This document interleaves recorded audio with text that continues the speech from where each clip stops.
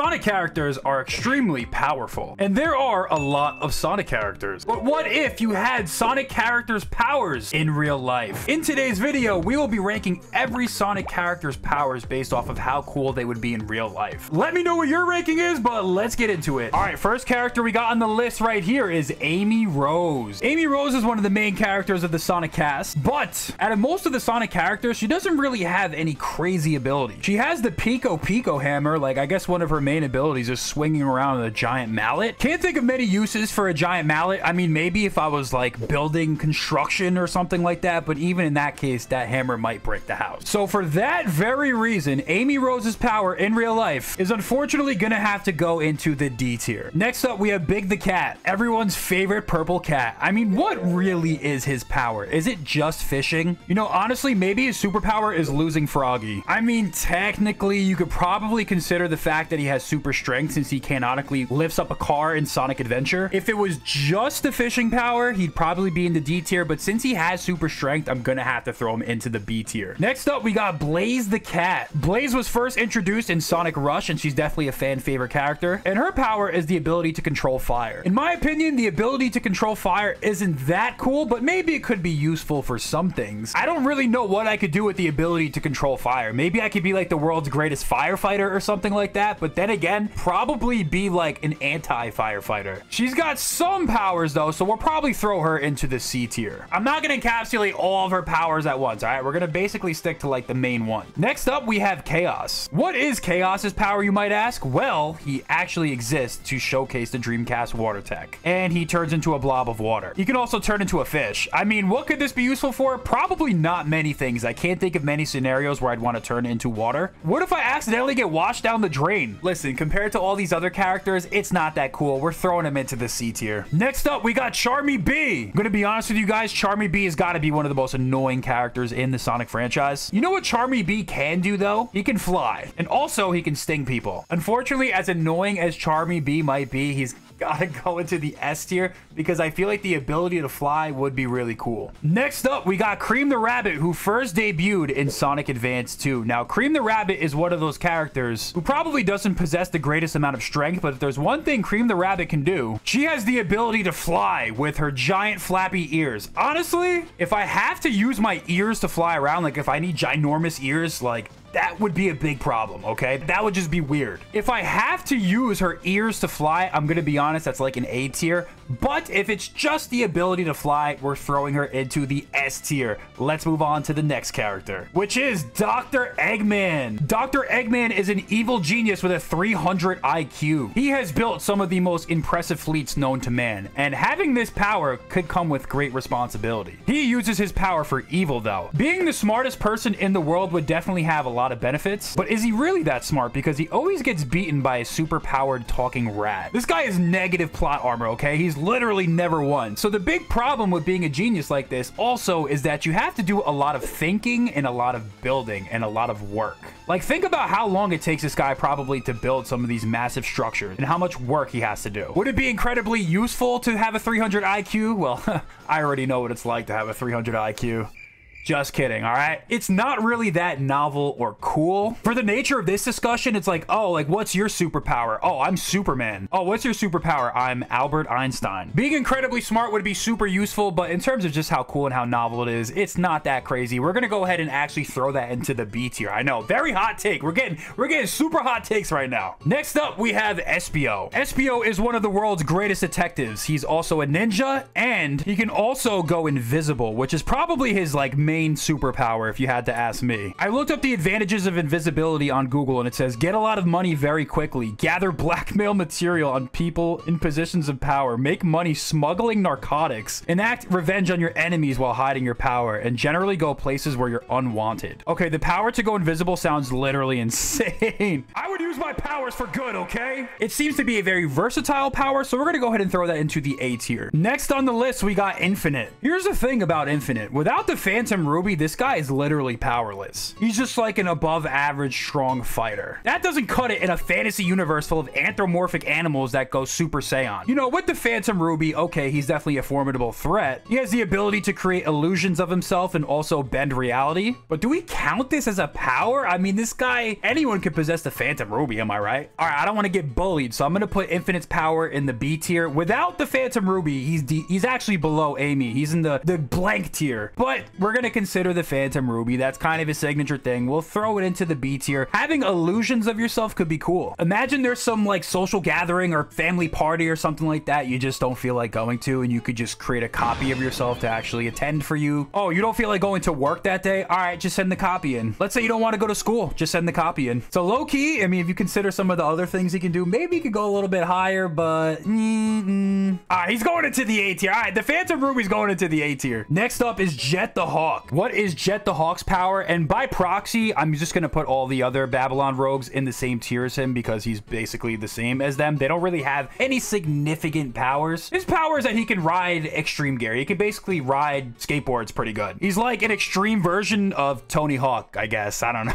It would be really cool to ride extreme gear around the town. Like imagine being able to hop on that thing and just like fly around. Here's the problem though. All he can really do is ride the skateboard really cool. What if you're on the way to work and you fall off the extreme gear? I'm gonna get hurt, okay? As far as all the other superpowers you could have, riding a skateboard or hoverboard really cool leaves a lot to be desired. So Jet the Hawk's power, I'm sorry guys, it's gonna go into the C tier. Next up, we got Knuckles the Echidna. What more can be said about Knuckles the Echidna? He's one of the world's greatest treasure hunters. He also has the ability to glide and climb on walls. I think being able to glide would be even more fun than flying. I don't know why. It's like being on a permanent hang glider. I think I would probably go on top of a mountain and just start hang gliding and maybe even take Knuckles gliding to work. Knuckles even possesses super strength. He probably has one of the most well-rounded packages out of all the other characters that we talked about already. Could you guys imagine what my max bench press would be if I was Knuckles the Echidna? I think due to the sheer well-roundedness of the character, he has to go into the S tier. There's no other option. Next up, we got Maria. What is Maria famous for?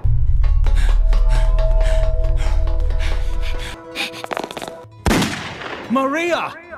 And with that being said, Maria is going into a brand new tier. We're going to call it the Swiss cheese tier. RIP Maria. Can we get an RIP in chat? Let's move on to the next one. Next up, we got Metal Sonic. Metal Sonic is a cold, ruthless robot who was made to match the speed of Sonic the Hedgehog. It's safe to say that the guy's got some pretty cool abilities when you consider the fact that he's a direct match to Sonic. He's super fast. He can also fly with the jets on his back. Could you imagine how fast you could travel around the world to anywhere you want to go if you had Metal Sonic's speed and flight ability? Safe to say, it would be pretty cool. So, in terms of powers, he's definitely in the S tier. However, the fact that he's a cold-hearted robot and you would have to assume his robot form in order to possess his power, that would just be kind of a sad, lonely existence, right? You can't experience any emotions. All you know is destroy Sonic. That's basically your only objective. Basically, go after your ops. Oh, what's that? You say that doesn't count? Oh, yeah, sorry. I made the video. It's my video. I made the rules, all right? Because he's a cold-hearted, emotionless robot, although he has cool abilities, we're gonna throw him into the A tier. We're gonna drop him out of the S tier. Next up, we got E123 Omega. You know, E123 Omega's got some cool abilities. He has like the gun blasters. He can actually fly as well. He also low-key possesses super strength. Similar to Metal Sonic, he's kind of just like this emotionless robot. It's kind of like the Metal Sonic situation. He's a cold, emotionless robot, and then you think about like comparing the powers that he has to all the other Sonic characters. It's like, I think we can do better than that. And look how slow he's flying, by the way. This doesn't look that fun, okay? He has some ability, so I guess I'll throw him into the C tier. I mean, Amy Rose is literally just like a hammer swing, so I'm gonna have to keep her in D. E123 Omega by default, since he has some type of power, has, I guess he's a C tier. Next up, we have Orbot. They're literally one of Eggman's lackey henchman robots, so they have no powers whatsoever. They're not cool or interesting in terms of like being them, okay? I like the characters. They're funny. They're comedic relief. If I were to be these characters, you gave me the option to do it, I wouldn't do it. He's going straight into the D tier without any question. Next up, we got Ray, the flying squirrel. Ray's a cool little character. He's someone that you don't really see too often in the Sonic franchise. He has the ability to fly kind of like a squirrel. He's literally a flying squirrel. Now, his ability is cool because he can fly, right? But it's not quite the same as someone like Cream the Rabbit